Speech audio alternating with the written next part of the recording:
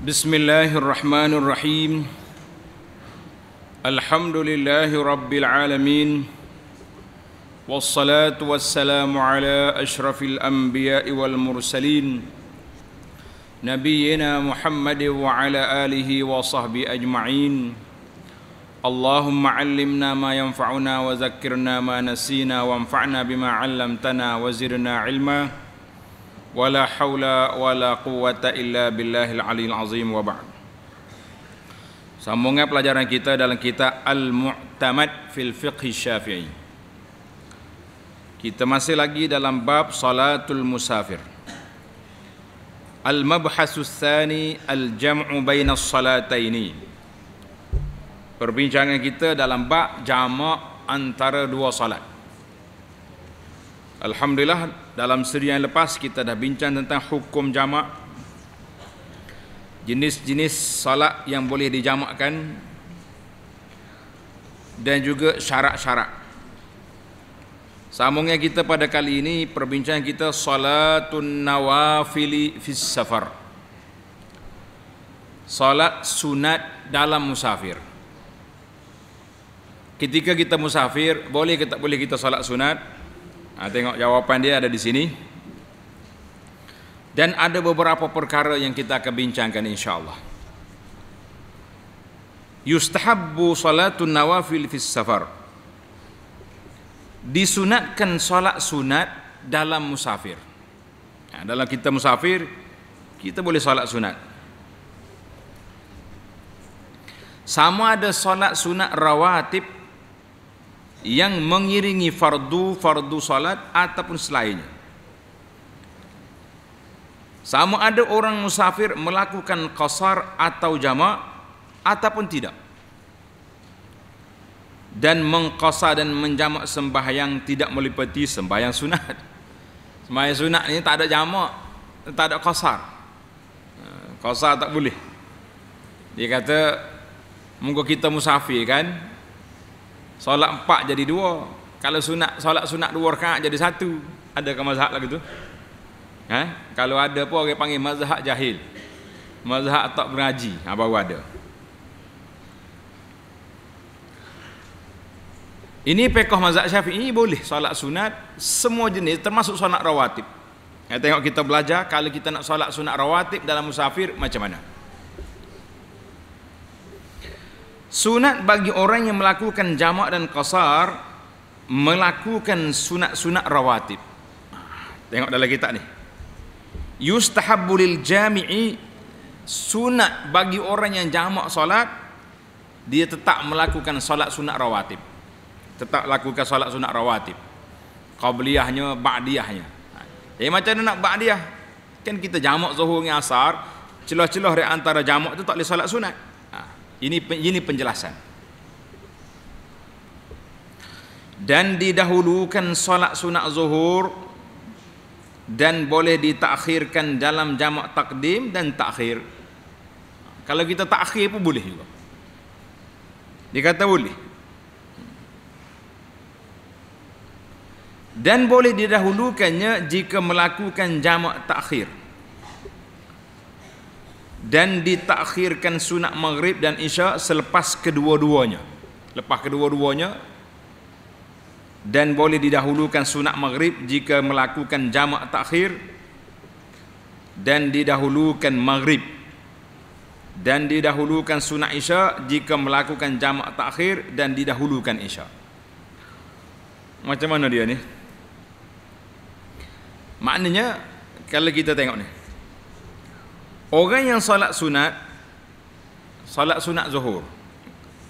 Kalau kita sebelum kita solat zuhur tu boleh solat sunat qabliyah. Walahu ta'khiruha fi jam'i taqdim wa ta'khir. Kalau kita nak lewatkan dia pun boleh juga. Kalau kita takhir maknanya kita solat sunat zuhur tu lewat dah. Walahu tawsituha. Boleh kita tak tengah-tengah tak tengah-tengah antara dua solat. Bila? In jama'at ta'khiran maknanya kalau kita niat aku sekarang ni solat solat jamak takhir. Maghrib dengan isya ataupun zuhur dengan asar. Jadi lepas solat zuhur tu boleh solat sunat dulu. Sebab kita dah belajar dalam siri yang lepas solat sunat yang mesti tertib bila tengok dalam yang lepas tu. Solat sunat yang mesti tertib iaitulah solat solat maaf bukan solat sunat. Solat yang mesti tertib tengok tu. Syarat yang kedua syarat jamak takdim at-tertib bainahuma mesti tertib. Solat zuhur, tarik terus asar. Solat maghrib, tarik terus isya. Tak boleh ada celah. Ya, itu dia kata. Al-mualatu bainas salataini. Syarat dia mesti berturut-turut. Tetapi syurutu jam'i ta'khir syarat jamak ta'khir dia kata kalau jamak ta'khir tidak syarat tertib boleh zuhur dulu, boleh asar dulu. Boleh isya dulu, boleh maghrib dulu. Dan boleh solat sunat di tengah-tengah tu. Ha, ini maksud dia nya. Walahu tawsituha in jama'a ta'khiran. Maknanya orang ini semaya jamak ta'khir. Dia semaya maghrib, sudah semaya maghrib, eh aku nak semaya sunat dulu lah. Sunat ba'diyah maghrib. Solat, kemudian dia solat isya pula. Jadi dalam kitab kita kata ni, boleh. Jelas ke tidak tu? Ha? Baca semula tengok.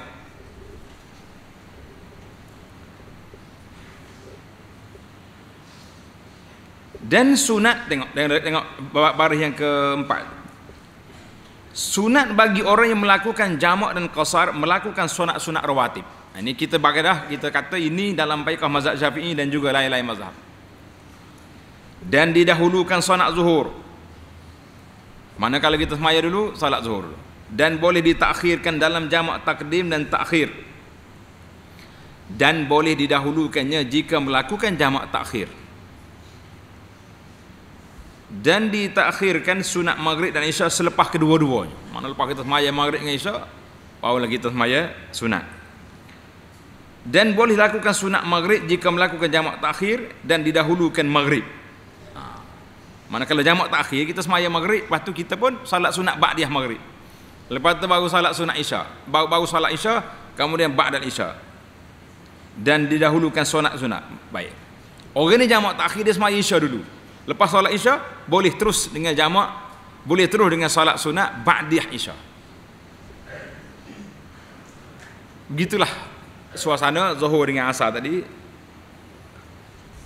Uh, keadaan tertib dia. Kena perhatilah betul-betul kan. Manakah dalil? Ha, tengok dalil. Seperti mana yang sabit dalam hadis-hadis yang sahih daripada Nabi sallallahu alaihi wasallam bahawa Nabi sallallahu alaihi wasallam kana yusalli nawafil ala rahilatihi fi safari haitsu tawajjahat bihi. Nabi sallallahu mengerjakan salat sunat di atas kenderaannya dalam musafir dengan mengadap ke arah hala tuju kenderaan. Maknanya Nabi kita sallallahu alaihi wasallam solat sunat dalam musafir dia tak kira. Kiblat tak kiblat tak ada. Duduk atas kenderaan tu Allahu akbar solat. Nabi kita solat atas kuda, di atas unta dia. Kita hari ni boleh je solat atas bas boleh, atas kapal terbang boleh, atas kereta boleh. Pernah kita solat sunat atas kereta? Ha, kena buat lah kalau dalam musafir. Eh aku malam ni saya eh, nak tinggal witir. Saya eh, nak tinggal solat tahajud. Boleh. Allahu Akbar. Maya. Rokok sujud setakat mana yang kita mampu. Ha, atas kenderaan. Boleh kita buat. Itu hadis ini dikeluar oleh Bukhari daripada Ibnu Umar dan Jabir dan juga dikeluar oleh Imam Muslim. Dari Abu Qatadah radhiyallahu anhu bahawa annahum kanu ma'a Rasulillah sallallahu alaihi wasallam. Bahawa mereka bersama dengan Nabi sallallahu alaihi wasallam dalam satu perjalanan dalam musafir lalu mereka tertidur dari salat subuh. Mana dah akhir malam dah penat Nabi kita berhenti Nabi kita sallallahu alaihi wasallam beritahu kepada para sahabat siapa dia yang nak jadi tukang jaga mu jangan tidur jaga eh Orang lain tidur lah ke Si hok, hok sanggup nak jaga ni pun Tertidur juga Masya Allah Tabarakallah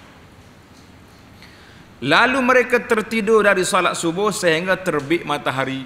Ha, naik matahari dia baru sedar, masya-Allah.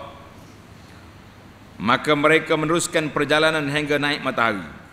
Jadi Nabi kita sallallahu alaihi wasallam Nabi kata kita pindah daripada tempat ni sebab tempat ini banyak syaitan. Mari kita pergi depan sikit. Kemudian Rasulullah sallallahu alaihi wasallam turun lalu berwudu. Kemudian Bilal mengumandangkan azan untuk solat. Maka Rasulullah sallallahu alaihi wasallam solat sunat dua rakaat. Ha, ini mahallu syahid kitanya salla raka'ataini. Nabi kita solat apa tu?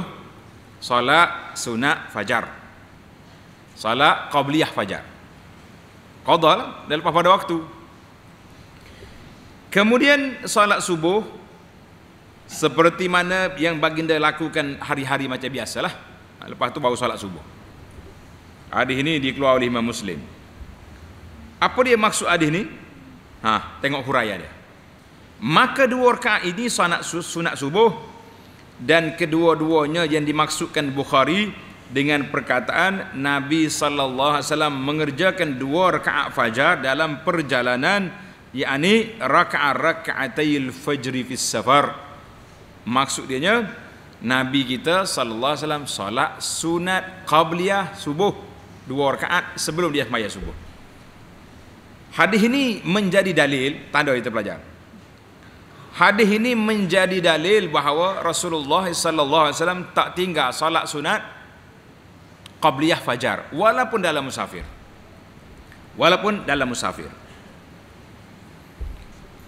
Hadis yang kedua wa an ummi hani nama dia Fakhitah. Fakhitah binti Abi Talib. Dia ni adik-beradik pada Sayyidina Ali. Kakak dia. Ummu Hani kata anna Nabi sallallahu alaihi wasallam salla yauma fath Makkah fi baitiha thamaniya rakaat wa zalika duha Ummu Hani kata Rasulullah sallallahu alaihi wasallam pada hari Fathu Makkah. Tulis pelajar pada hari pembukaan kota Mekah bila? Ramadan tahun yang ke-8 tanda tarikh. Pembukaan kota Mekah Ramadan tahun yang ke? Yang ke-8 Nabi kita solat sunat 8 rakaat di rumahnya dan itu waktu duha waktu itu waktu duha hadis dalam Bukhari Muslim maka para ulama mengatakan uh, dalam riwayat lain solat sunat duha dua dalam musafir Nabi tak tinggal salat sunat duha.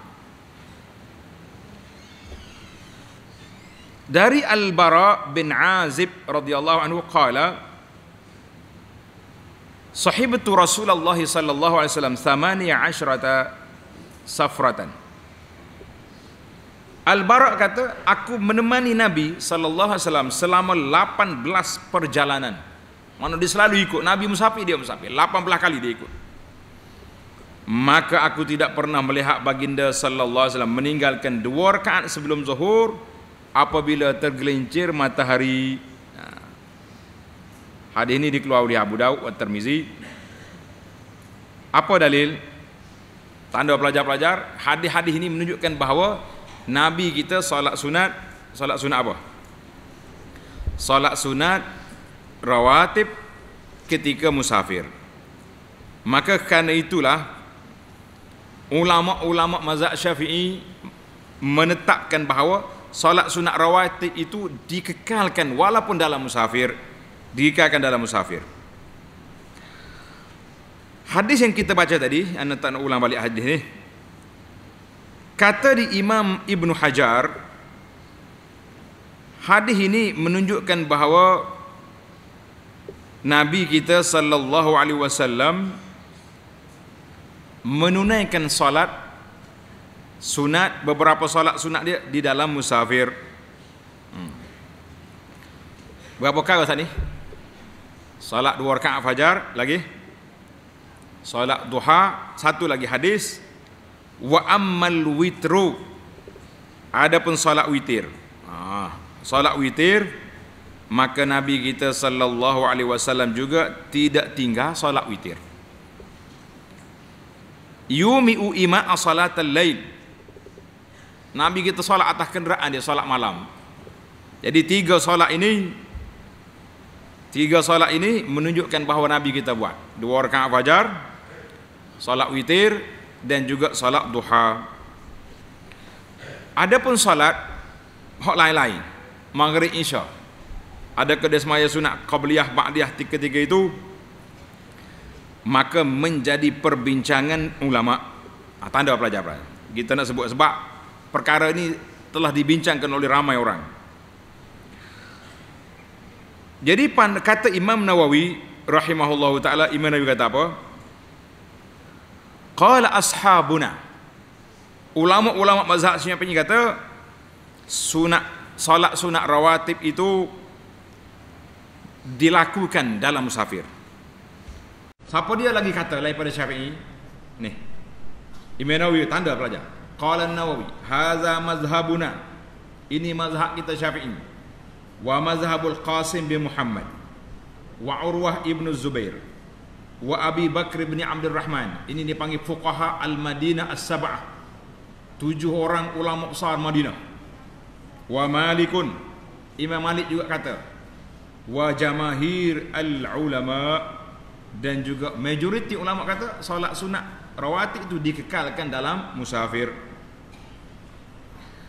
Wa qala Tirmizi, Imam Tirmizi kata apa? Wa bihi qalat ta'ifatu minas sahabati wa ishaq wa aktsaru ahli ilmi. Wa qalat ta'ifatu. Ada sekumpulan ulama kata apa dia? La yusalli yusalli rawatib fi safar. Solat sunat rawatib dalam musafir tidak ada. Selain daripada solat sunat fajar. Ini pandangan siapa ni? Ini pandangan Abdullah bin Umar. Tulis itu. Ini pandangan siapa? pandangan Sayyidina Abdullah bin Umar dia kata apa dia kata tak ada sanak rawatib cerita dia macam mana cerita dia nya daripada Asim bin Umar bin Khattab dia kata aku berjalan bersama dengan abang dia Abdullah bin Umar ketika nak pergi Mekah dia pun solat zuhur dua rakaat Salat biasa, salat qasar jam. Kamu dia dia paling dia tengok ada orang duduk solat. Solat sunat. Dia tanya, solat apa tu? Dia orang kata ni solat sunat ya Ibnu Umar. Ibnu Umar kata apa? Lau kuntu musabbihan kalau aku nak solat sunat baik aku aku sempurna kan solat zuhur aku empat rakaat jadi tak payahlah sembahyang sunat. Ha, ini cerita. Ibnu Umar kata apa? Hei akhi, ya benar akhi. Sahibtu Rasulullah sallallahu alaihi wasallam. Aku telah bermusafir bersama dengan Nabi. Dalam musafir.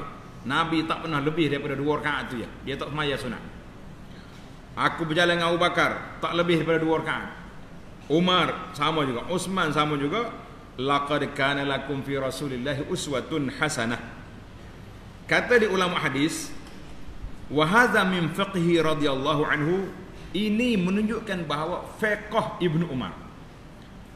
Ibnu Umar ni fiqh dia apa? Dia kata Nabi kita sallallahu alaihi wasallam ringankan musafir, hak empat jadi dua. Jadi kalau kita kita tambah lagi solat-solat sunat lagi, maka tidak ada makna lah kita kita qasar. Sedangkan benda tu boleh jadi banyak. Ha, ini ini kata dia. Maka uh, majoriti ulama yang mengatakan dah kata-kata Ibnu Umar tu berbeza sebab solat fardu yang dikasar itu nas Nabi kita kata itu sedekah yang Tuhan beri. Kenapa kita tak nak ambil? Jadi ada orang yang juga mentakwilkan mengatakan bahawa kita boleh tinggal solat sunat dalam musafir ini sebab apa? Sebab Nabi kita sallallahu alaihi wasallam ketika jamak di Arafah Nabi tak tak ada solat sunat. Ketika Nabi kita solat jamak di Muzdalifah juga tak solat sunat. Maka uh, yang sunnya sunahnya tidak ada solat sunat di dalam musafir. Baiklah. Mereka jawab apa? Dia kata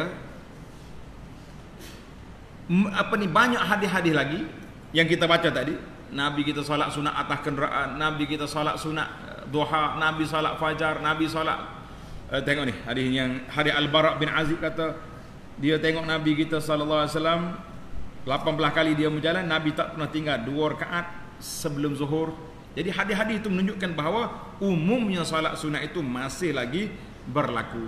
Maka alhamdulillah para jemaah sekalian, jadi perbincangan ini menunjukkan bahawa majoriti ulama, tulis tepi kita, majoriti ulama mengatakan bahawa salat sunat rawatib kekal dalam musafir. Mana kita boleh buat, boleh tak buat. Baik. Kalau orang buat dia dia kekalkan dengan hak, hak pahala yang ada. Kalau orang tak buat tu kenapa? Ha, dengar ni. Sebab dia berdasarkan kepada kata-kata Ibnu Umar tadi, Ibnu Umar mengengkari perbuatan yang tersebut yang pertama. Yang kedua, yang kedua tanda.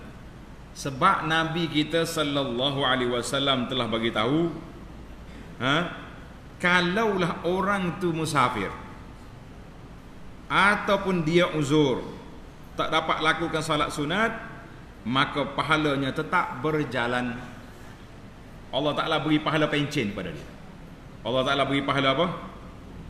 pahala pencin bagi orang yang bermusafir dan orang sakit Masya Allah Tabarakallah. Orang ni sakit. Waktu dia sihat dia sentiasa solat sunat. Sakit dan solat sunat tak mampu maka pahala dia boleh pahala pencin berdasarkan kepada hadis apa Nabi kata tadi siapa dia sentiasa musafir au maridah maka dia tak dapat lakukan solat sunat Allah Ta'ala beri pahala kepada dia dia panggil pahala pahala pencin lah kita istilah kitanya pahala pencin Alhamdulillah tamaklah kita perbincangan tentang uh, masalah yang pertama solat sunat dalam perjalanan baik kita berpindah pada isu yang kedua tanda perkara yang kedua al-jam'u bainas salataini fil matar jamak solat ketika hujan. Ha ni hujan nak mari ni. Boleh tak boleh kita jamak? Ha dengar kita ni. Boleh dijamakkan antara dua solat Zuhur dengan Asar atau Maghrib dengan Isya. Dengan syarat jamak takdim. Jamak apa? Jamak takdim sahaja. Pada waktu yang pertama dengan sebab hujan. Jamak takdim pada waktu yang pertama dengan sebab hujan ia bermukim dan yang demikian dibolehkan antara sembahyang Jumaat dan juga Asar. Macam mana cara dia? Kita ni mari masjid solat zuhur. Nak mari masjid itu masyarakat hujan lebat. Nak mari pula asar tu susah. Ha, maka boleh kita jamak solat zuhur dengan asar tapi tidak pasar. Jamak tamam kerana hujan. Boleh. Imam kata ha, kita solat jamak hari ni? Jamak tak boleh jamak takhir takut asar nanti hujan tak ada dah maka jamak takdim boleh seperti mana yang diriwayatkan oleh Ibnu Abbas Katanya Rasulullah sallallahu alaihi wasallam solat zuhur dan asar, maghrib dan isya secara jamak. Tanpa dalam keadaan takut dan tidak juga dalam musafir. Kalau waktu takut ada hukum. Waktu musafir sudah jelas hukumnya. Hak ni ni musafir tidak, takut pun tidak. Ha.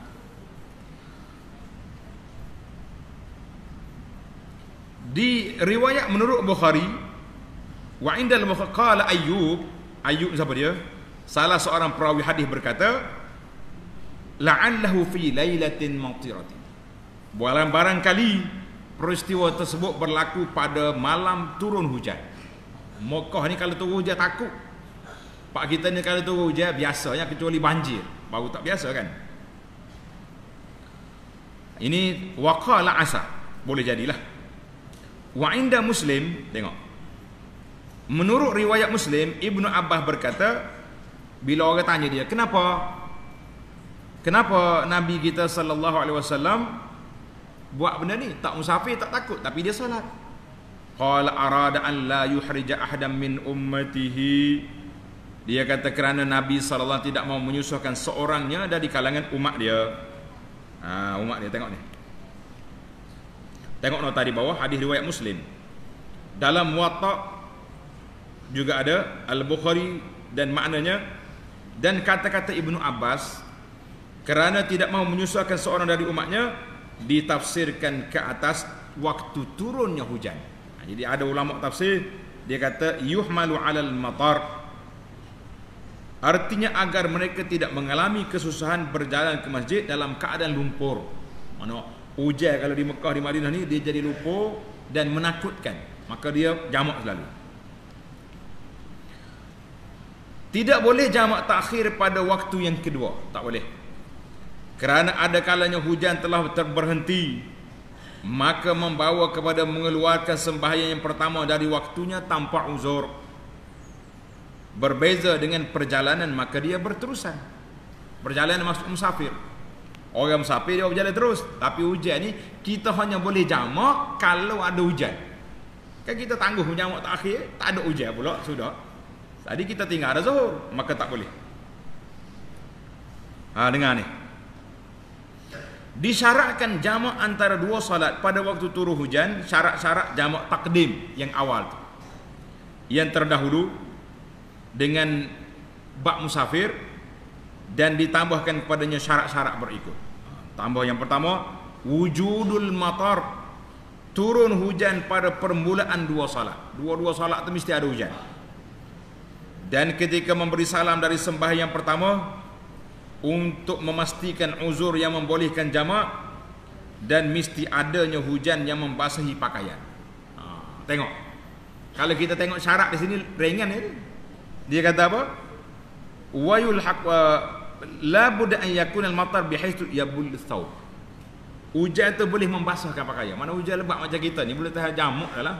Ha, cuma masyarakat kita sini kita anggap hujan tu bukan satu benda yang susah. Biasa ya hujan. Orang pergi masjid pula. Oh dia kata payah. Eh, kau tak hujan, aku tak pergi masjid juga.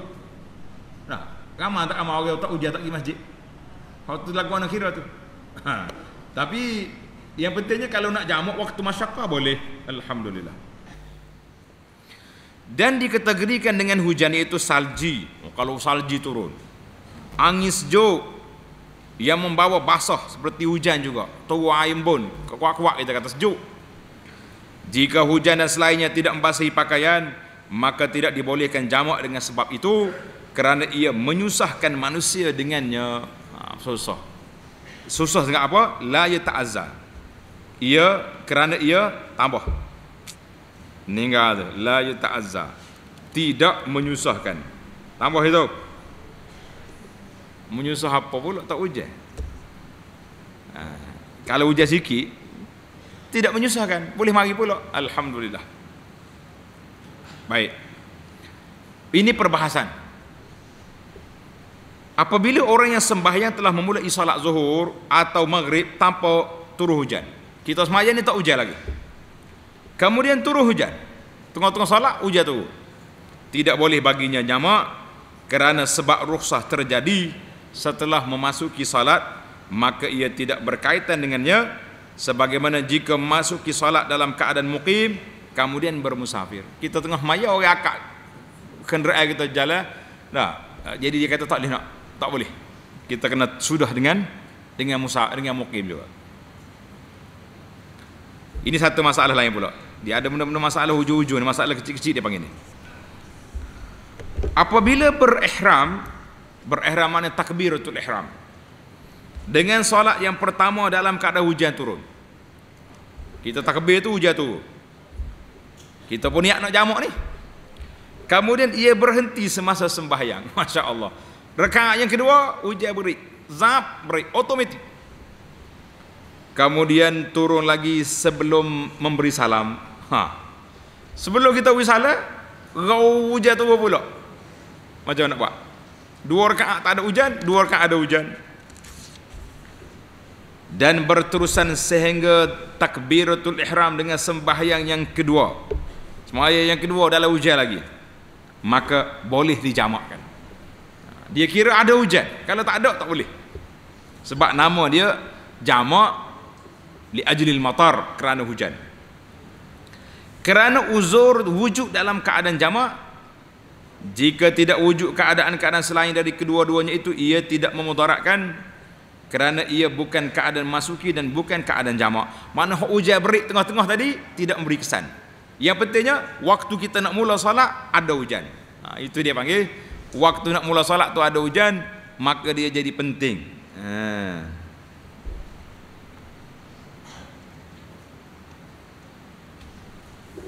Ada keadaan yang penting kan? Baik. Tidak boleh jamak dengan sebab lumpur saja. Lepas hujan tak ada tapi kita nak pergi ada lumpur. Ah, tak boleh. Angin kencang. Gelak gelita dan penyakit. Ah, ni masalah penyakit ni kita akan bahas panjang sini. Kerana uzur-uzur ini telah terjadi pada zaman Nabi sallallahu alaihi wasallam namun tidak pernah dinukilkan bahawa baginda menjamakkan sembahyang dengan sebab yang demikian. Ah, itu syarat yang pertama. Syarat yang kedua. Ayyakuna salah. Ah tengok. Dengar ni. Nak jamak kerana hujan ni, hendaklah solat jemaah jemaah berjamaah itu dilakukan di surau atau di masjid yang jauh dari pintu rumah menurut adat. Hmm. Mana? Eh kalau rumah kita dekat dengan masjid, tak mau solat dah, kita kata lah kena pergi solat. Rumah jauh dia lepas nak keluar pula payah. Ah boleh kita solat. Tidak boleh jamak bagi orang yang sembahyang di rumahnya secara munfarid. Dia solat seorang dia, ai ujian hari ni, Allahu akbar jamak, la. Tidak boleh. Atau berjemaah di rumah. Susah apa di rumahnya? Tak tahu rumah dah. Mak ya pula asal kan. Atau berjalan dalam masjid, eh, dalam masjidnya dalam keadaan tertutup. Ha. Mana nak pergi masjid ada atap. Macam rumah Siti Khadijah nak pergi masjid ni. Ada atap, tak boleh kacau. Atau masjid itu dekat kerana tidak ada masalah gangguan. Kita boleh pergi ya bawa kayu enggak bismillah jalan. Ha ini dia. Adapun Rasulullah sallallahu alaihi wasallam menjamak bersama Nabi kita jamak tu. Nabi kita jamak ketika hujan. Macam nak macam nak jawab pula. Sedangkan dekat je rumah-rumah isterinya kerana rumah-rumah mereka berselisih berbeza. Dan ada yang jauh. Maka barangkali ketika Rasulullah sallallahu alaihi wasallam menjamak ia bukan berada dengan rumah isterinya yang dekat dan boleh bagi boleh bagi imam menjamak dengan para makmum sekalipun mereka tidak terganggu dengan turunnya hujan mana kalau orang setengah, setengahnya rumah dekat setengah rumah jauh. Tapi kita nak jamak semua jawabannya boleh. Imam tu bagi imam tu. Kita kata masalah sini masalah panjang cerita. Nabi kita sallallahu alaihi wasallam jamak kerana hujan. Dalam mazhab kita ni dia kata syarat dia yang pertama sekali yang pertama apa tadi? Mestilah rumah tu tidak jauh. Dan Nabi kita jamak dalam keadaan musafir apa ini tidak musafir sebagaimana dalam hadis Ibnu Abbas. Jadi sekarang ni ramailah orang ambil ambil apa? Ambil pandangan hadis Ibnu Abbas ni pakat nak jamak dah. Ah kita jamak lagi ni. Apa sebab? Tak ada sebab apa-apa Nabi pun jamak kadang di Madinah tu tanpa uzur tanpa apa ha, maka kita mengatakan jangan mudah-mudahlah uh, kalau ada masyarakat baru kita buat tengok dalam kitab kita kata? Wala yajuzul jam'u bisababil wahli warrih wal marad. Tak boleh kita jamak kerana hujan kerana seluk kerana gelap dan kerana sakit. Tanda pelajar-pelajar kita akan bahas di sini tentang masalah jamak kerana sakit. Boleh ke tak boleh? Ha. jamak kerana sakit ni boleh ke tak boleh? Tulis di kitab menurut mazhab syafi'i tidak boleh jamak kerana sakit tidak boleh jamak kerana sakit menurut mazhab maliki mazhab imam malik dan juga mazhab al-hambali dua mazhab dan beberapa orang ulama-ulama besar daripada fuqaha ulama-ulama mazhab Syafi'i. Tanda nama dia. Di antara mereka iaitu Al-Qadhi Husain Ibnul Muqri Al-Mutawalli wa Abu Sulaiman Al-Khattabi. Ni siapa dia ni? Ulama-ulama ni kata apa? Ulama ni kata boleh jamak ketika sakit Qala al-Imam nawawi Dengar ni Imam Nawawi kata apa? Hazal wajhu qawiyun jiddan. Pandangan ulama-ulama mazhab syafi'i Yang membenarkan jamak kerana sakit ni Qawi, maknanya kuat. Sandara mereka tu kuat Dan alasan hujah mereka kuat. Qala al-Qadhi Hussein Yajuzul jam'u bi'uzril maradi taqdiman wa ta'khiran. Boleh dua-dua. Nak jamak takhir boleh jamak takdim boleh wal aula an yaf'al arfaqahuma bihi. Sepatutnya utamanya orang sakit tu buat mana yang lebih senang bagi dia? Mana yang lebih lebih mudah bagi dia? Uh, mana dalil? Tengok ni. Dalil dia nya dia kata apa? Istadallu ulama-ulama yang mengatakan boleh tu. Boleh solat jamak bagi orang sakit. Apa hadis yang diriwayat daripada Ibnu Abbas tadi lah Nabi kita sallallahu alaihi wasallam jamak di antara zuhur dengan asar maghrib dengan isya min ghairi khaufin wala safarin ini hadis kita tadi Nabi kita pernah jamak di Madinah tanpa musafir tanpa takut wala khaufin wa fi riwayatin wala matarin bukan kerana hujan ha. jadi para ulama mengambil hadis ini mengatakan kalau orang masyakkah Eh musafir ni kenapa dibenarkan? Sebab dia mazinnatul masyaqqah. Menjadi sebab kepada masyaqqah. Maka orang sakit ni memang orang bermasyaqqah. Ha, tapi sakit tu dia betul-betul sakit lah. Kalau banyak, banyak jamak dah. Sakit ke apa? Gigi. Orang tak panggil sakit lagi tu.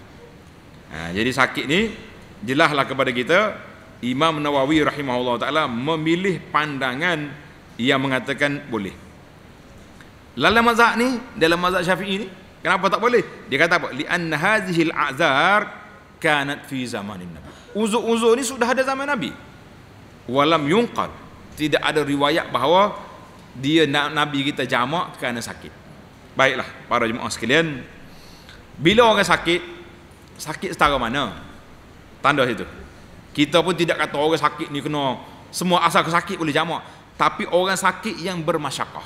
Sakit yang ada masalah. Contohnya sakit di hospital. Waya penuh. Nak bergerak payah. Waktu lawatannya boleh, waktu zuhur boleh melawat. Betul tak? Jadi waktu zuhur ni anak dia penjaga orang sakit mari siap-siap ambil wuduk ke dia secara darurat kalau tak boleh guna air banyak air sikit tapi jangan guna tisu basah tu buat ambil wuduk tak sah itu buat istinja pun tak boleh tisu basah Maka dia ambil wuduk siap-siap, salih pempoh kalau perlu disalih dan apa je. Terus dia solat zuhur empat rakaat dan jamak dengan asar empat rakaat. Jamak takdim. Itu boleh. Baik. Anak dia tak boleh mari tengah hari.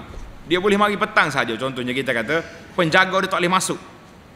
Maka kita buat jamak takhir. Cuma ada satu lagi jamak. Uh, dia panggil jamak suri. Tanda jamak suri dengan sad suriyun jamak gambaran jamak tapi bukan jamak. Macam mana contoh? Sekarang ini solat asar pukul 4 setengah. Maka anak dia ni mandi mak dia ni nenek dia ni siapa-siapa saja sakit kita bersihkan dia siap-siap. Pukul 4 petang pukul 4 10 minit dia semaya zuhur. Allahu akbar. Sudah semaya zuhur 4.20 tinggal lagi 5 minit nak sol, nak azan asar kan? Ha, maka dia tunggu kata tunggu berehat sekejap. Zikir-zikir orang azan asar. Allahu akbar Allahu akbar. Maka orang sakit ni terus solat asar. Maknanya zuhur diakhirkan asar di awal waktu itu nama dia jamak suri. Jamak apa? Suri maknanya gambaran jamak. Tapi sebenarnya tak jamak. Masing-masing dalam waktu dia zuhur dalam waktu dia tapi di akhir asar dalam waktu dia di awal. Sama juga maghrib dengan isya. Ha, maka ada dua cara lah. Sama ada kita jamak suri ataupun jamak hakiki bagi orang yang darurat kita berpegang dengan pandangan majoriti ulama dan ramai ulama-ulama besar yang mengatakan boleh termasuklah al-Imam Nawawi rahimahullah taala mengatakan hadza qawi. Maknanya pandangan ini qawi qawi. Jadi ulama lain pun kata boleh belaka kita kata alhamdulillah Allah taala ringankan masalah kita ni. Maka ambillah peluang yang begini solat termasuk jugalah orang darurat yang lain-lain. Para ulama semasa mengatakan termasuklah doktor-doktor yang terpaksa kena membuat pembedahan sampai berjam-jam lama. Nak tinggal tak boleh jadi dia boleh jamak sekali dengan orang sakit. Ataupun orang nak buat pembedahan, pembedahan kita nak bedah. Pukul berapa nak bedah? Pukul 3 petang. Bila boleh sedar? 10 malam. Mana yang asal tak ada? Jadi macam nak buat? Jamak takdim terus. Asar dengan zuhur. Solat zuhur asar. Masuk pembedahan selesai. Jadi ada lagi orang tanya ni hok bahasa jenis Allahumma salli ala Muhammad sahabat-sahabat kita yang kena cuci darah dialisis kan lama masa tu ada katanya kita nak pilih waktu baik tapi kadang-kadang shift jadual tu tak nak ubah dah. orang lain pun nak waktu juga ni akhir sekali dia kena waktu solat macam nak buat ha, maka bolehlah dia jamak takdim ataupun jamak takhir insya-Allah itulah pandangan kita. Hasil daripada perbincangan para ulama-ulama dahulu dan semasa. Ulama kita dulu malikinya hambalinya ulama kibar ulama syafi'i pun sudah sebut. Kita kata insya-Allah tidak menjadi masalah dalam dalam perkara ini insya-Allah. Ha, cuma jamak kerana hujan tadi di Malaysia ni rasanya boleh lagi tak jamak kerana ujian bagi tempat kita ni biasa. Alhamdulillah. Kecuali hari banjir oh, kalau hari banjir tu kita jamak lah senang sebab nak mari pula masjid tak boleh. Tapi kalau jam, duduk rumah dia tak pergi masjid juga lepas tu hari hujan nak nak jamak kan tak sadut jamak lah. Hari-hari tak hari tak hujan tak mari kan? Ha, sibuk dengan waktu hujan nak pergi nak jamak kita kata lah. Tamaklah perbincangan kita dalam dua perkara tiga perkara. Yang pertama jamak apa ni solat sunat dalam musafir. Yang kedua jamak kerana hujan. Yang ketiga jamak kerana kerana apa? Kerana sakit. Ha. jamak kerana hujan dan kerana sakit ini kerana masyarakat ini tidak ada qasar. Tanda itu. La qasra faqad jam. Jamak saja tapi tak boleh qasar. Sebab dia bukan musafir. Ada orang tanya kenapa mazhab Hanafi tak sebut tu? Mazhab Hanafi ni dia tak boleh jamak. Kecuali dalam ketakutan baru boleh. Hmm. tamaklah kita kita masuk secara ringkas-ringkas kepada adabus safar ha, tanda itu. Adab musafir dalam kitab kita ni menyebut 36 perkara adab musafir. Tanda? Bila kita nak musafir nak pergi mana-mana ini adab dia kena belajar. Berkenaan solat musafir berkenaan dengan bimunasabah. Ha, bukan berkenaan tu tulis. Munasabah. Perbincangan kita dalam bab solat musafir ini Al-Imam Nawawi rahimahullahu taala dan lain daripadanya uh, telah menyebut baban li adabis safar. Imam Nawawi sebut dalam kitab dia satu bab ada-ada musafir. Padanya terdisebutkan 62 adab musafir dan disebut dengan dalil-dalilnya sekali. Ha, kalau nak nak baca hak hakiki, hak benar, hak panjang, tuan-tuan baca dalam kitab Al-Majmu' Lin-Nawawi ada 62 adab berserta dengan dalil. Jadi dalam kitab ni tuan Syekh nak ringkas je sebab dia tahu kita nak cepat. Kan?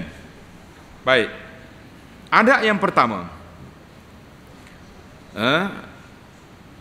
Di antaranya ialah yang pertama al-musyawarah bermusyawarat sebelum bersafir dengan orang yang dipercayai agamanya pengalaman dan pengetahuannya dalam musafir. Dan orang yang diminta bersuara adalah memberi nasihat pada keadaan demikian. Eh kita nak gimana ni? Nak pergi berniaga. Tanya orang dulu. Kita nak pergi nego negeri ni boleh ke tak boleh? Orang sana kuat menipu ke barang murah ke tidak? Tanya. Oh saya nak musafir pergi umrah. Tanya orang pula travel nak bawa ni baik ke tak baik? Layar orang molek ke tidak? Nipu ke tidak? Ajaran dia ikut sunnah ke tidak? Oh, setengah tribal ni Masya Allah. Habis tepaknya pergi belakang. Habis kubur pergi kosok belakang. Kita kata jangan. Ha. Baru ni anak jumpa satu travel. Mari bawa jemaah dia di timur air di telaga hak lama tengah jalan Mekah. Duk tembak, ah, telaga ni kotor. Macam-macam benda dalam tu. Tapi jemaah dia ni pakat duk minum air. Kita bertanya, "Bapak, apa ambil air telaga ni?" "Oh, sudah dicoba, kesembuhannya terbukti." Ha, sudah. Oh, habis pakat kuti air. Tak ambil zam-zam apa dia tu? Ha, botol air zam-zam pun minum habis pasal nak ambil air telaga. Ha, ini bahaya. Jadi kena pilih orang. Nasihat pilih betul-betul. Bermesyuarat dulu nak ambil siapa. Satu lagi tanda sini, pelajar-pelajar tanda bagi wanita. Bagi wanita. Kalau nak musafir pergi umrah, pilihlah tarikh dia boleh solat. Ni ada orang ni dia pilih tarikh ikut travel. Waktu tu waktu dia menghid. Habis nak buat mana? Oh saya makan ubat, makan ubat sampai Mekah celaru, pening kepala. Tak sah. Yang pentingnya kalau ada hik lagi tu pilih waktu dia nak pergi buat bila. Kalau hok peceh-peceh macam mak-mak kita tu gila bila-bila pun. Dah, muka pakai peceh dah. Baik, yang kedua beristikharah ketika berazam nak bermusafir. Dan telah dijelaskan dalam bab salat istikharah bersama doa ni kita bincang baru ni. Nak musafir mesti istikharah dulu. Aku nak pergi orang ni bila tanya. Yang ketiga bertaubat dari semua maksiat. Ha, kalau ada maksiat taubat dulu keluar dari penginayaan makhluk kenak ke orang jangan membayar hutang dan mengembalikan barang-barang orang titipan tu ditulis wadiah wadiah ni bagi orang simpan kita ataklid ni nombor tiga ni anak nak, tekan sikit para jemaah sekalian ni dalam adat kita nak musafir Imam Nawawi kata kalau ada hutang bayar dulu ni ada orang mengadu ni ustaz Duit saya ni berapa puluh ribu dah dia tu buta. Dua tiga tahun tak bayar. Tapi saya tengok di Facebook dia, kejap-kejap pergi umrah. Sengih dia ambil gambar selfie di kubur Nabi. Masya Allah, tabarakallah. Nah, sekejap pakai kait ihram, prek selfie dekat Kaabah. Hutang orang tak bayar. Kita kata lak ya akhi. Bayar hutang orang dulu, habis hutang pergi umrah. Eh, belagak. Tak belagak gitu. Hutang tu saya bayar, umrah pergi. Kita kata tak salah. Tak usah duduk tunjuk kedai baik tu, saya duduk tunjuk. Ha. Yang keempat, meminta keredaan ibu bapa kalau ada lagi lah. Kalau mak ayah kita ada minta izin, mak saya nak pergi Mekah. Dan orang yang ditujukan dan orang yang yutawaju alaihi birruhu ditujukan kepadanya kebaktian dan ketaatan. Siapa dia sajalah. Kalau mak kita tak ada lagi, kita tengok nenek kita, Siapa jaga kita pok dah kita, kita minta izin. Saya nak pergi Mekah ni boleh tidak? Dua minggu ni cuti tak tak khidmat ni. Ha, tak mari hantar makanan ke apa. Mana kalau benda tu kena perlu, kita pergi minta izin, kita beri selalu bagi beri. Berah, gula, bekal cukup dua minggu tak rumah dia. Ha, cuma lauk-lauk tak boleh main bekal dah. Zaman kita ni ada peti air dah. Sebulan apa boleh bekal. Masya Allah, tabarakallah. Yang kelima, hendaklah nafkah yang halal bersih dari syubhat jangan ambil duit riba pergi Mekah eh kita tipu orang pergi Mekah beramah juga makhluk lagu ni hmm. atau apa ambil duit apa-apa ni? Duit riba duit saham-saham tak patut syariat pergi Mekah jangan. Khasnya dalam perjalanan haji dan jihad dengan meninggalkan sifat takabur pada orang yang dibelinya untuk yang demikian. Oh, jangan jadi kata tarkil mumahikah bima yashtarihi lizalik mana kalau kita beri nafkah ni jangan duduk sombong orang itulah yang keenam hendaklah melebihkan bekalan nafkah untuk membantu orang-orang yang memerlukan mana kalau kita bayar pakej 10 ribu kita bawa pula 5 ribu kalau ada orang susah kita bantu dan tidak berkongsi dengan orang lain pada bekalan jangan duduk minta orang Oh, ni bekalan tak bawa, asyik duk makan orang. Ada juga lagi tu. Tunggangan dan nafkah kerana ia lebih selamat. Mana kalau kita ada bekalan sendiri, lebih baik. Yang ketujuh, hendaklah mempelajari cara-cara ibadat haji, umrah dan jihad sebelum musafir. Kerana tidak sah ibadat dari orang yang tidak mengetahuinya dan membawa bersamanya buku kitab-kitab mengenai manasik haji dan umrah untuk ditelaah dalam perjalanan bawa buku baca ha, kan Sekarang ni orang tak bawa buku orang bawa MP3. Kenapa MP3? Ha, dia buh dalam alat dia ni sumbak dalam telinga dengar. Oh, Ustaz Abu Anas duk ceramah sengih suka. Suka sore dia. Kita kata dia suka sore dia dengar ceramah. Dan, ha, boleh juga. Yang ke eh isu yang ketujuh ni banyak cerita. Kadang-kadang orang duduk Mekah. Dia wasak kita ni. Ustaz, saya sekarang ni berada di Mekah. Saya telah laku sekian-sekian. Eh, kita kata nak pergi Mekah ni tak belajar ke? Soalan dia tanya tu berat benar nah. Apa dia soalan? Dia kata tengah dia tawah tadi, dia tengok nyamuk, dia tapak nyamuk. Kena bayar. Sah ke tak sah tawah dia? Ha. Ah, kita kata kena bayar utah dalam seko. Pasal dia bunuh, membunuh dekat Kaabah. Bunuh apa? Bunuh nyamuk. Dia pun tanya. Betul, biar betul Ustaz. Kata, awak tu biar betul. Belajarlah sikit sampai mereka ni mari tanya soalan. Yang ke 8 mencari teman sesuai yang menginginkan kebaikan dan membenci keburukan dan menyerti jamaah tanpa mengasingkan diri. Ha. Kalau kita nak gini kawan tu biar betul. Ni duk cari orang kaki buah, apa Mekah buah. Cari orang kaki rokok, apa Mekah hisap rokok. Oh, tak tahannya ketua trebo dia tu bapak rokok. Allahu akbar. Duduk ramai-ramai macam opa waktu ambil kotak rokok. Silakan, silakan. Ai silakan. Jamu rokok Mekah masya-Allah tabarakallah. Ah, berat. Ada setengah jemaah ni dia bagi tahu, saya tak segi Mekah Abu Ana. Dia marah bisa rokok. Kita kata masya-Allah. Ada orang lagi pergi Mekah cari haji mabrur, dia ni berniat pergi Mekah mencari haji malboro. Ha, kena haji malboro. Gini saya agak Mekah Haji Malboro nama dia. Allahu akbar. Yang kesembilan disunatkan musafir pada hari Kamis. Ha, kalau kita boleh pilih lah pakej kita ni hari Kamis. Jika tidak maka pada awal pagi hari Isnin. Ha, kalau boleh. Kalau tak boleh pergi lagi mana-mana pun. Yang ke sepuluh disunatkan solat dua rakaat sebelum keluar dari rumahnya. Ha, dengar ni. Tanda sini solat sunat kita solat dua rakaat sebelum kita keluar rumah hmm. sebab apa hendaklah dibaca dibaca pada reka, uh, rekaatnya dibaca surah Al-Kafirun dan surah Al-Ikhlas selepas Al-Fatihah. Dan setelah memberi salam baca ayat kursi dan surah Quraisy liila fi Quraisyin tengok ni pelajar. Ada hadis yang menyebut. Ada hadis yang menyebut tentang sunat bagi orang yang nak musafir ni dia kena solat sunat. Ha, tengok hadis dia. Dia kata apa? Mastakhlafa abdun fi ahlihi. Tidak ada satu benda yang kita tinggal kepada keluarga kita yang disukai oleh Allah Taala daripada dua rakaat. Maaf arba rakaat. Lepas rakaat kita solat di rumah dia bila kita bersiap nak musafir. Ha, tanda hadis ni tapi hadis ni iraqi kata dhaif hadis lemah. Ada satu lagi hadis baik sikit pada hal tu. Dia kata apa? Iza kharajta min manzilika. Kalau kita nak keluar daripada rumah kita nak pergi musafir fasalli rak'ataini. Kalau kamu solat dua rakaat.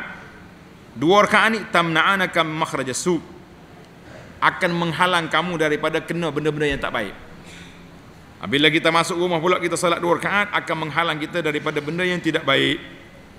Jadi hadis ni ulama-ulama kata ada yang mengatakan hadis ni dhaif tapi Ibnu Hajar kata hasan. Tulis. Hadis yang kedua tu Ibnu Hajar kata hasan ada juga kata dhaif yang pentingnya ada hadis tapi ulama mem mempertikaikan tentang kesahihannya. Kita kata molek lah siapa nak keluar rumah solat dua rakaat baru kita tolak lagi. Nah, kecuali kita waktu larangan. Yang ke sebelas mengucapkan selamat tinggal kepada ahli keluarga jiran sahabat-sahabat dan seluruh rakan-rakan. Kita kata apa? Astagfirullahallahu ha? Alladzi la tadhi'u wada'ihu kata astagfirullah mana aku tinggal kamu ni biar Tuhan jaga. Dan hendaklah mereka mengucapkan selamat jalan kepadanya. Orang nak pergi pun ucap pula. Astagfirullah dinaka wa amanataka wa khawati amalika jadi masing-masing kita doa mai astagfirullah aku suruh kamu Tuhan orang yang ucap kita berjalan pun aku suruh kamu kepada Allah Taala ni mai selamat jalan Apa selamat jalan gitu? Nah, doa. Di mana nak dapat doa ni? Doa-doa yang kita baca di mana dapat? Dalam kitab perisai Muslim. Apa kata apa? Uh, dia jawab apa tu? Suruh baca kan?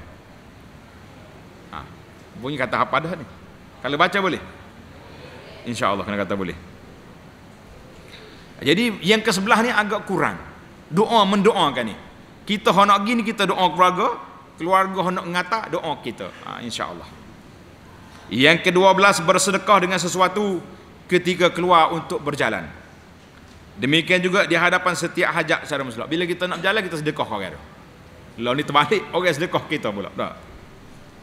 Yang ke 13 berdoa ketika keluar dari rumah. Bismillah tawakkaltu 'ala Allah kan baca doa doa keluar rumah.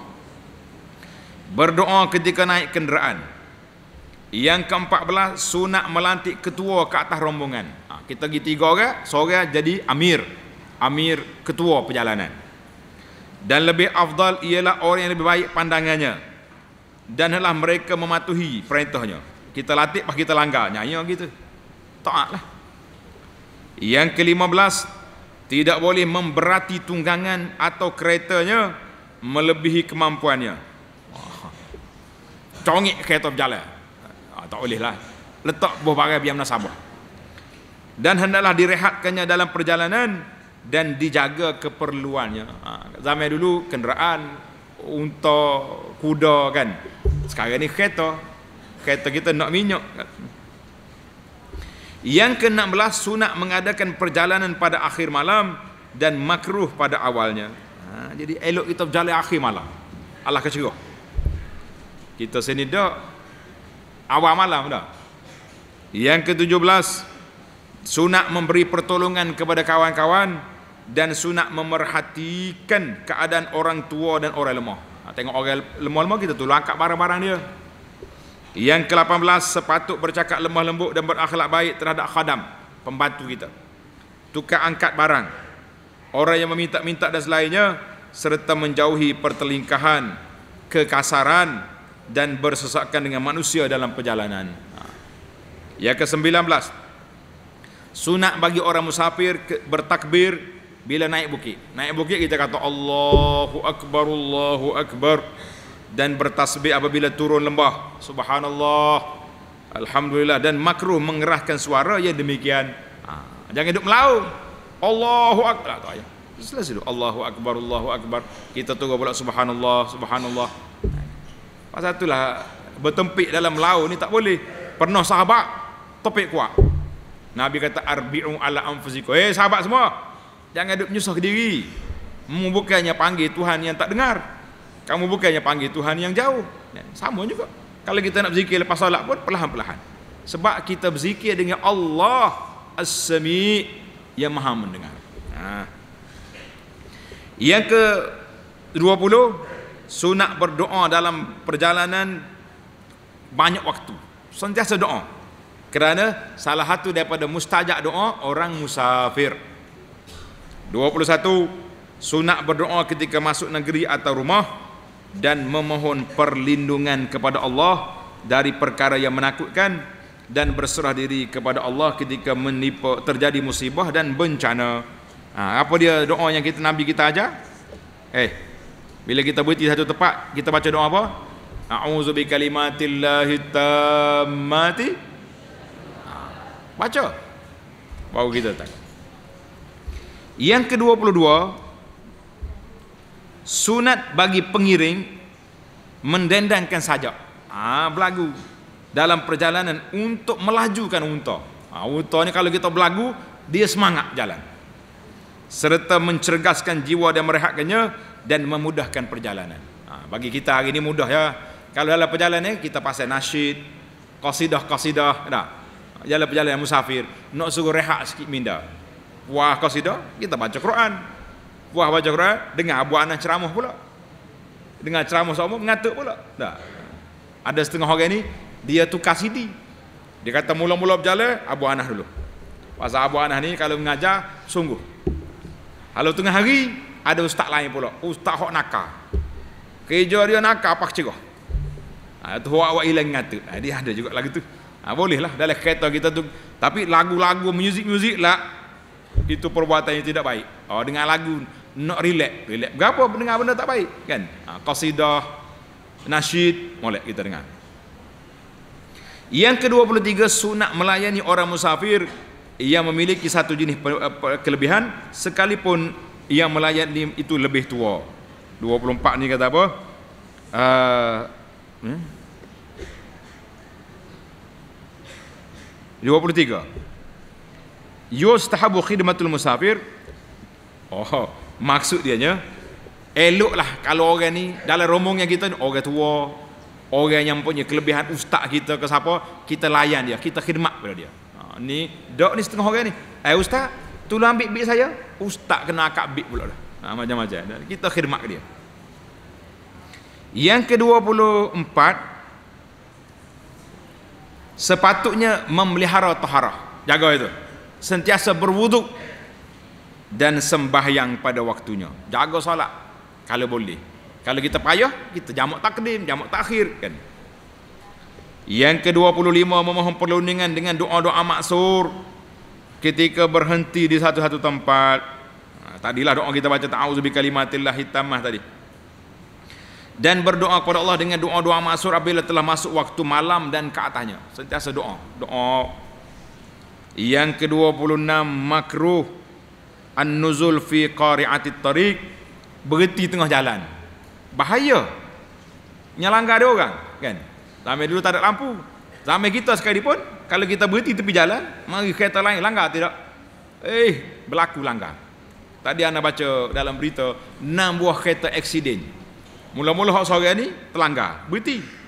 Mari hak lain pula tak ada break langgar pula. Ha, tengok bahaya jadi kalau kita nak berhenti zaman kita ni cari stesen minyak RNR tempat berhenti yang kira selamat jangan duduk berhenti tak kalau gitu yang ke-27 Sunat bagi rombongan perjalanan turun secara berkumpulan dan makruh bercerai-berai tanpa hajat. Dan hendaklah orang yang musafir menjaga acara tidurnya di waktu malam sehingga tidak terluput salat subuh. Ha, kalau kita tidur lewat, letak kunci jam, suruh pakak jaga, oi pakak kejut. Ni kita tidur ni, ada setengah orang ju, dia bangun semaya dia sore. Hak lain tidur, biarnya tidurlah apa tu sia kan Allah Ta'ala tak berdosa orang tidur. Mula berdosanya tak kejut orang. Ha, ingat baik. Ada juga perangai gitu kita kata kejut kawan tu. Ah, biarlah dia nak tidur. Eh biar nak tidur. Dia tak berdosa kita berdosa sebab tak kejut dia. Yang ke-28 Sunat bagi musafir apabila selesai menyelesaikan hajatnya agar segera kembali kepada keluarga dia. Balik cepat dan berdoa kepada Allah ketika kembali dari perjalanan bersama takbir dan memberitahu kedatangannya sehingga tidak mengejutkan mereka dan sebaiknya mendatangi mereka di waktu siang.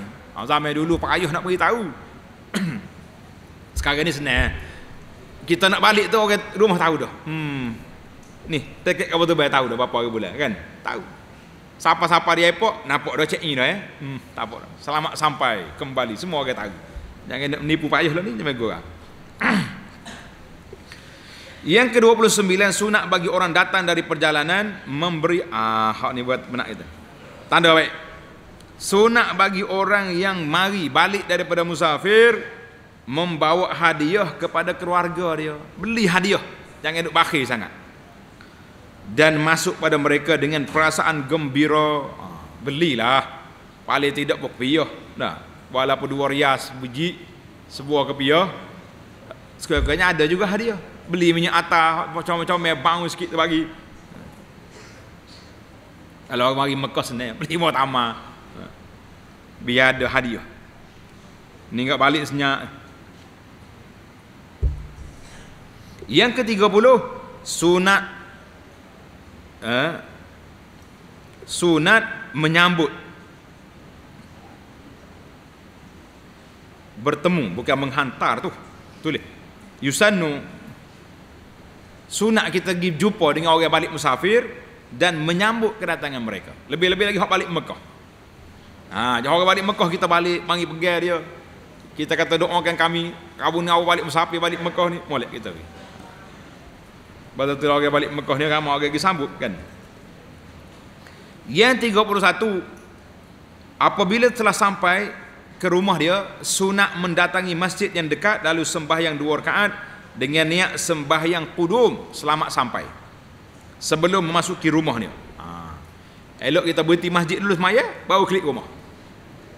Dan masuk rumah melalui pintunya, pintu depan, jangan masuk ke tingkap. Dan berdoa ketika memasuki rumah dengan memohon taubat. Ha, kalau ada benda-benda yang tak baik dalam perjalanan ini kita taubat. 32 sunat menyiapkan makanan untuk kedatangan musafir atau menyediakan untuk orang musafir yang akan tiba. Ha. Eh. Tulis 32 ni nama dia an-naqiah.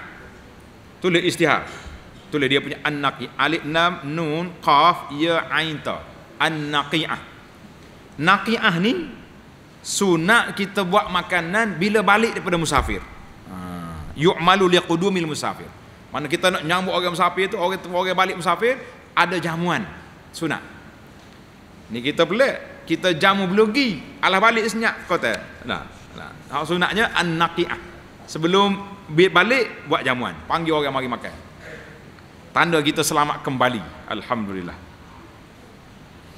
Yang ke-33 sunat memelihara nafal solat sunat yang kita dah bicara tadi solat sunat ni kena jaga yang betul-betul ada dalam riwayatnya Nabi kita tak, tak tinggal solat fajar dua rakaat solat sunat fajar dua rakaat solat witir dan solat duha ada pun solat rawati itu per, di, diperbincangkan uh, majoriti ulama setuju cuma Sayyidina Abdullah bin Umar tidak setuju baik sama ada sunat rawatib yang mengiring perdu atau lainnya. Alhamdulillah.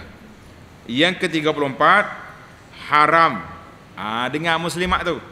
Haram bagi wanita musafir seorang diri tanpa darurat. Kita nak kata apa hani? Yang ke-34 ni. Hari ni boleh katakan orang musafir, perempuan-perempuan kita musafir seorang diri belaka. Gi musafir sana sini, luar negara, kerja, gi umrah, haji ada belaka. Jadi dalam 34 ni perbahasan tentang haram itu perlu diperincikan lah. Diperincikan khususnya di zaman kita hari ini zaman yang keamanannya sudah terserlah kita kata ada perbahasan situ. Maka dia berdoa nas'alullah ta'ala al-auna wat taufiq was sadada was salama fil hilli wat tirhal wa an yuhsina aqibatana fid dunya wal akhirah. Kita memohon pertolongan dan taufik kepada Allah Azza wa Jalla. Kita minta Allah Ta'ala beri pada kita yang benar dan keselamatan. Beramal dengan apa yang diredai oleh Allah ketika kita bermukim dan juga bermusafir serta memperbaiki akibat kesudahan kita di dunia dan akhirat. Jadi Allah Ta'ala beri pada kita husnul khatimah. Insya Allah tamaklah kita 34 adab musafir. Subhanakallahumma wa bihamdika. Ashhadu an la ilaha illa anta. Astaghfiruka wa atubu ilaih wa sallallahu ala nabiyyina muhammad wa ala alihi wa sahbihi ajma'in. Walhamdulillahi rabbil alamin